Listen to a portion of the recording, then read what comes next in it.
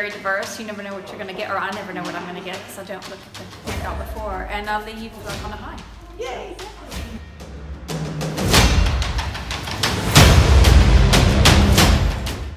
Uh, I like it because it um, makes me work hard, it hurts, and it's good fun.